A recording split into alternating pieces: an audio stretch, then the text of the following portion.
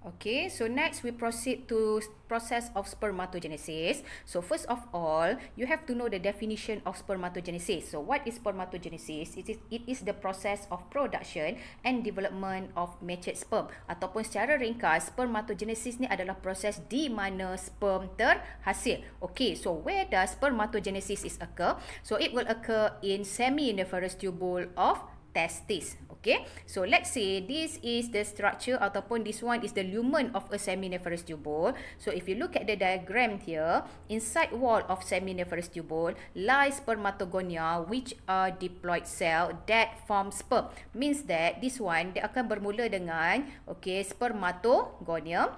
Okay, and then from this spermatogonium, bila berlaku proses of spermatogenesis, later it will produce sperm.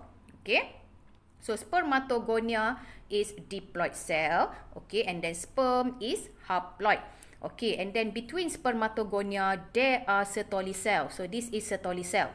Okay, so what is the important of Sertoli cell in the process of spermatogenesis? Okay, dekat mana kita jumpa Sertoli cell? It will be found in the wall of seminiferous tubule. Maksudnya dekat wall of seminiferous tubule here, it has Sertoli cell. So what is the function of Sertoli cell? It will provide nutrients for developing spermatids. Okay, so kalau kita go through secara ringkas the process of spermatogenesis, okay, kalau kita tengok dekat sini, Okay, sebelum spermatogonium, actually it has the primordial germ cell. Okay, yang tu nanti saya akan explain kejap lagi. Okay, so this is spermatogonia. So when spermatogonia divide by mitosis and differentiate, so it will produce primary spermatocyte. So primary spermatocyte is still diploid. But what happened to primary spermatocyte? It will divide or it will undergo meiosis 1 and produce secondary spermatocyte. So here is secondary spermatocyte and then what happened to secondary uh, spermatocyte? It is already haploid. Kenapa haploid? Sebab primary spermatocyte is undergo meiosis. So ingat, once sahaja kita kata berlaku proses of meiosis daripada diploid cell, dia akan membentuk haploid cell. Okay? And then what happen to the secondary spermatocyte? It will undergo meiosis 2 and produce early spermatics. Okay? And then what happened to the early spermatics? This is the structure of late spermatics. Okay, so once spermatids get the nutrients from the Sertoli cell, so it will undergo differentiation to produce sperm. Okay, uh, to produce sperm here. Okay, so sperm is haploid. Okay, so next we go through the detailed process of spermatogenesis. Okay, so remember, first of all, if the question asks you to explain the process of spermatogenesis, first point you have to give the definition of spermatogenesis. So what is spermatogenesis? It is the process of production and development of matured sperm. And then where does this process occur? It will occur in seminiferous tubule of testis. Okay, so ni adalah detail proses. Macam mana kita katakan process of spermatogenesis can occur. So if you look at the diagram here, okay, so ni adalah uh, kita tengok dari segi diagram. Okay, di sebelahnya adalah dari segi explanation. Okay, so first of all, it will start with primordial germ cell of embryonic testis. Okay, so this is the primordial germ cell. So what happened to this primordial germ cell? It will divide by mitosis and differentiate into spermatogonia sperm cell. Okay, so once primordial germ cell divide by mitosis and undergo differentiation, so it will produce spermatogonia sperm cell. Okay, and then what happened to this spermatogonia sperm cell? It will divide mitotically to form spermatogonia. So spermatogonia is diploid cell. So if you look at the diagram, so this is the spermatogonia stem cell, stem cell. So this spermatogonia stem cell will divide mitotically and it will produce spermatogonium or spermatogonia. So remember spermatogonia is diploid cell. Okay, and then what happened to the spermatogonia?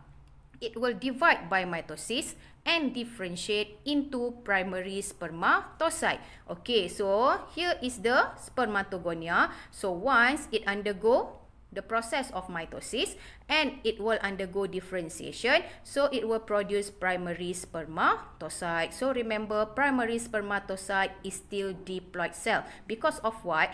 Meiosis belum lagi berlaku. But what happen to primary spermatocyte? It will undergo meiosis 1. Ha, so kita tengok dekat sini. Once primary spermatocyte undergo meiosis 1, so it will produce two secondary spermatocyte which is haploid. Maksudnya secondary spermatocyte adalah haploid sebab primary spermatocyte dah berlaku meiosis 1.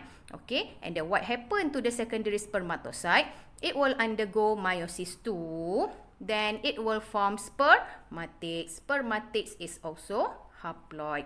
Okay, so as the spermatocyte develop, they are being pushed towards the lumen. Macam yang saya dah tunjukkan dalam diagram tadi. So what happen to the uh, spermatids, what happen to the spermatocyte as they develop, they are being pushed towards the lumen. Dia akan ditolak ke arah lumen of the seminiferous tubule. Okay, and then if you look at the structure of spermatids, spermatids are non-motile. Non-motile means dia tak boleh bergerak. Kenapa tak boleh bergerak? Sebab tail of the sperm does not develop yet. So what happened to the spermatids?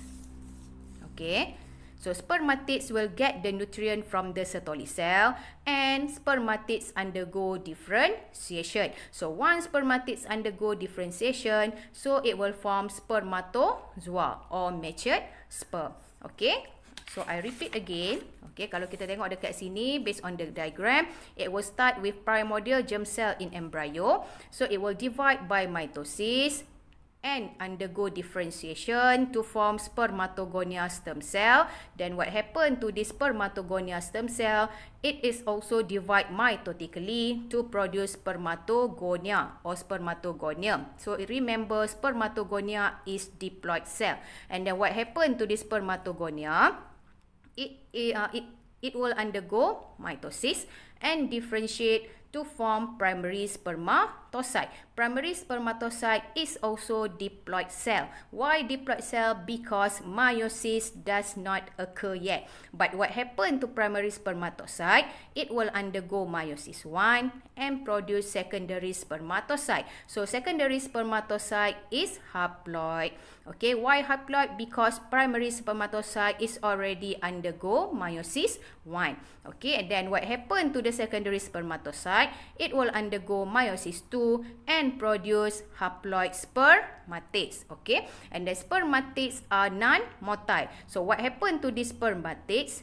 Okay, it will get the nutrient from the Sertoli cell and undergo differentiation to form spermatozoa or sperm cell. Okay. So what you have to do is awak mesti kena ingat the sequence of event in spermatogenesis on how to explain from primordial germ cell until it will become spermatozoa.